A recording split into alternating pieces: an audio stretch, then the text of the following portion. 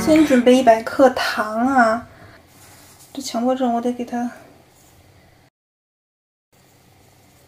嗯，OK，白糖倒到这个小锅里，再倒四十毫升的水，把它烧开。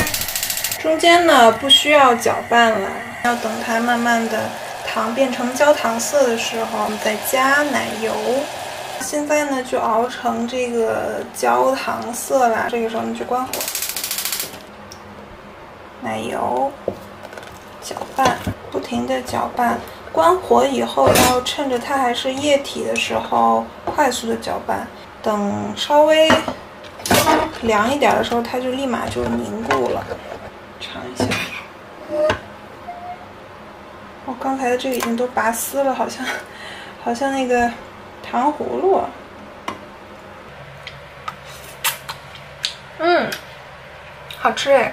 就是像那个焦糖布丁上面的那层焦糖，稍微呢在这个里面再放一点盐，调一下味儿。用处可以很多啊，做甜点啊，包括抹面包什么的。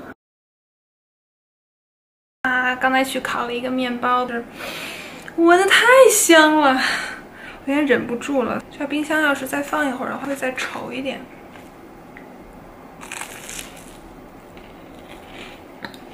嗯我还很少直接拿焦糖这么直接抹面包酱吃，所以最好用本身就不太甜的面包配这个焦糖会更好，因为这焦糖已经很甜了。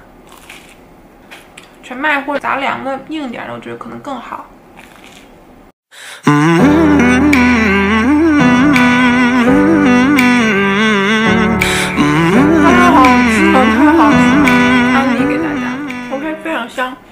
现在还有点时间去准备一下核桃酥吧。